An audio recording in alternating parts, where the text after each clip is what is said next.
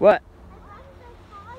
Then put them on your head. We'll fix them in a minute. That's why I told you not to take them off.